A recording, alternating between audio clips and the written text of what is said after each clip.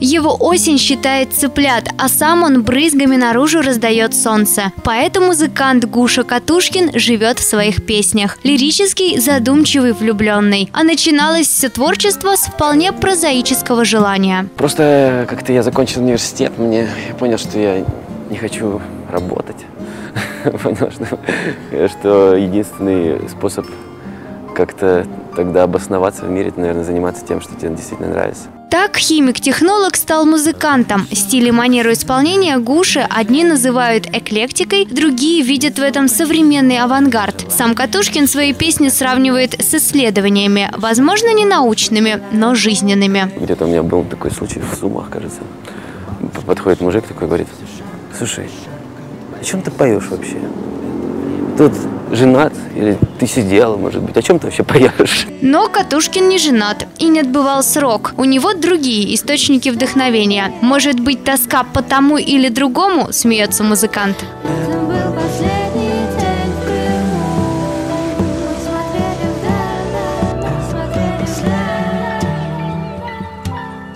Его песни личные, признается Катушкин. В некоторых реальные ситуации из жизни. Только написаны они о будущих событиях. Гуша поет про ноябрь, который никогда не кончится, про пальцы якоря и последний день в Крыму. Но он не романтик, хотя иногда заносит, признается музыкант. Жизнь требует быть реалистом. Просто Гуша научился смотреть глубже во все происходящее вокруг, не без чувства юмора. Я как бы понимаю, что там много грусть, тоска, печаль там меня съедает, ну, на первый взгляд, но э, в то же время очень нередкие случаи, когда после концерта подходят люди и говорят, спасибо, вы так меня зарядили позитивом, просто, ну, вообще от души. Я, я их понимаю, потому что как бы ничего, никакой безысходности там нет.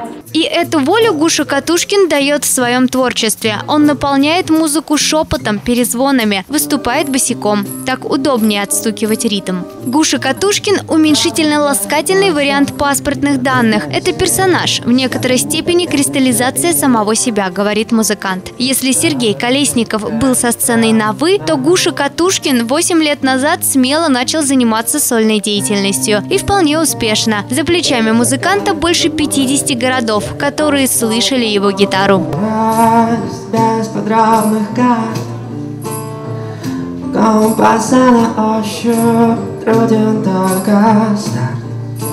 Дальше будет проще Переезды, дороги, новые города – такова жизнь музыканта. Вероятно, поэтому ему во многом близко то самое «Эхо тысячи вокзалов», о котором он поет вместе с Марией Чайковской. Эта песня стала настоящим интернет-хитом с сотнями тысяч просмотров. Песня задумалась как шутка, как э, некая такая, ну, коллаж, не сказать пародия, просто взятые стихотворения, так вот, смешаны, что-то дописано, переделано. Это был подарок на день рождения Жене, э, свой, собственно, автору трех стихотворений, которые, из, из которых склеено и как-то так вот с- с- составлена эта стих, текст этой песни. Песня получилась многослойной, а такой музыкальный подарок оценили даже на центральном телевидении. Как признался ведущий Иван Ургант, вся редакция в течение недели напевала нехитрый мотив. Гуша Катушкин и сам не скрывает того, что когда песня была написана, он пел ее по 30 раз в день. Для сочинения собственных хитов у него свои правила. В последнее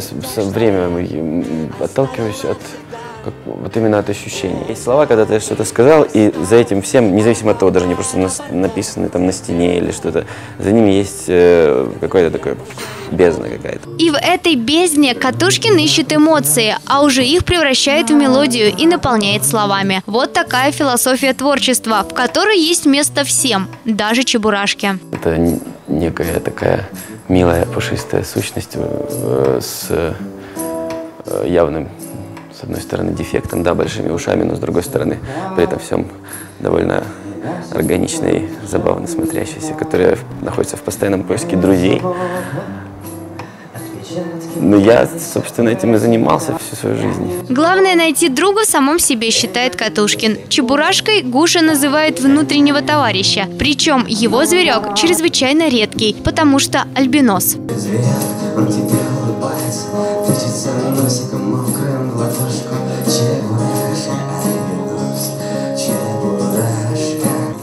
он считает периодом, когда стоит начать делать что-то новое. Сейчас, пожалуй, самое подходящее время. В середине октября у Катушкина презентация альбома.